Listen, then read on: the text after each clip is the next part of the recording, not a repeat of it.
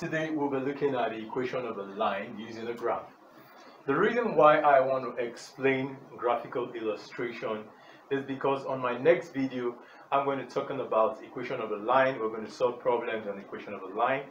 But I think you should understand, you should know the nature of every graph. When you see a graph, you should be able to identify if the gradient is positive or not, if it's either positive or negative, and also identify the intercept on the graph. So it is very, very important to help in my next video.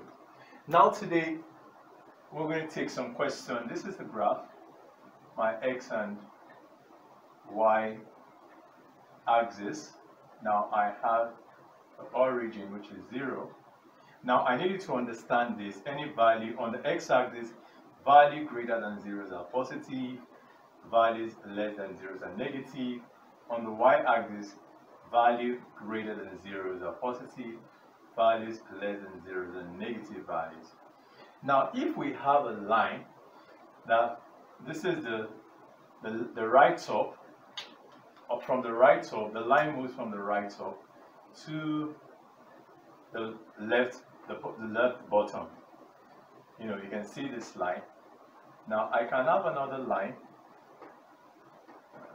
let's see, look at this.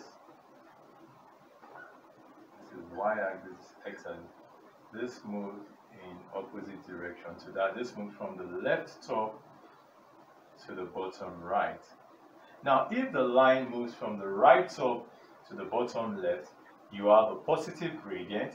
If it moves from the um, top left to the bottom right, you have a negative gradient.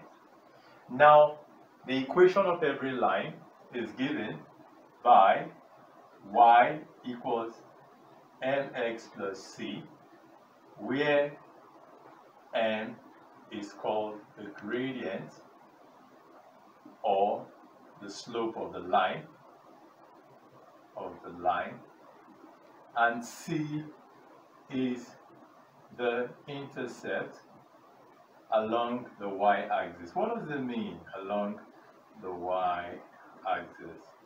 What do we mean by the intercept along the y-axis? Now, if you look at this line, this line crosses the graph at two points. The first point is on the x-axis, the second point is on the y-axis. And now, for those who are writing IGCSE and WAEC, we don't consider the x-intercept. We talk more about the y-intercept. So the point where the line crosses the y-axis is the value c, which is called the intercept. That's what I mean by c is the intercept along the y-axis.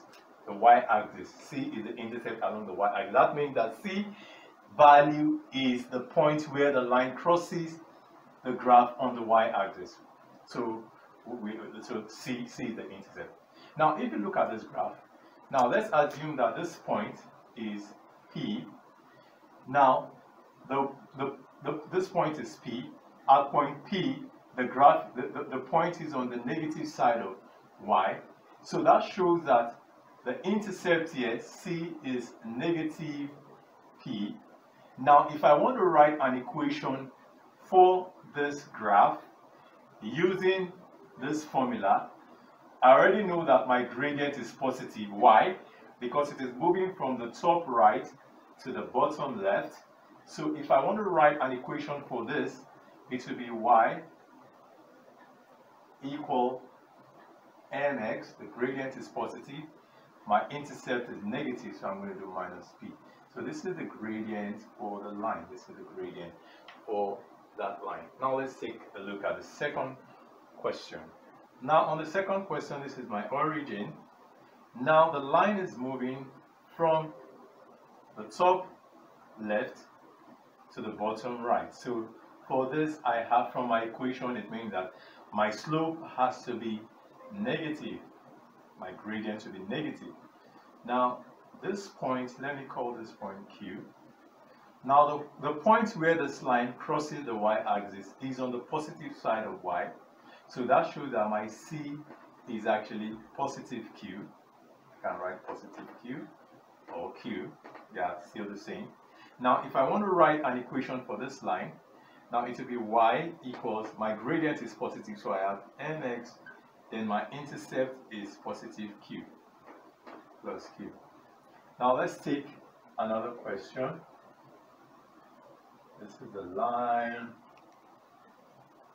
and then this is x, this is y. Now the line goes this way. Now this is zero, the origin. Now let's call this point point R. Now this point is point R. Now if I want to write an equation for the line using um, y equals mx plus c. Now my gradient is positive y because the line is moving from the top right to the bottom left. My intercept is negative, that, uh, sorry, is positive. c is equals to plus q, y, because the line crosses the y-axis on the positive side of y. So now, if I want to write an equation for this line, it will be y equals mx plus q. I'm going to take another question. Now, number four, I'm going to draw the x and the y-axis. The x and the y-axis, and this is the origin. Now let's assume the line is coming from the top right passes through the origin down to the bottom left. Now we know that the equation of every line is mx plus c. Now if you look at it, because the line is moving from the top right to the bottom left, we have a positive gradient. Now what about the intercept? The intercept, like I rightly said, is the point where the line crosses the y-axis. Now if you look at this graph, the line crosses the graph on 0, on the origin. It means where x is 0 and y is 0. So in this case, x is 0, y is 0. So that shows that the value of c is actually 0 because the value of c is actually the point where the line crosses the y-axis. So the, the line crosses the y-axis at point 0. So therefore, if I want to write an equation for this line, it will be y equals mx because we have a positive slope then plus 0 so y equals mx so this is the equation of the line now we're going to take one more question and then we'll, we'll end the session. Now let's say we have the x and the y plane. This is number 5, x and the y axis is my origin, 0, and the line moves from here down to this place.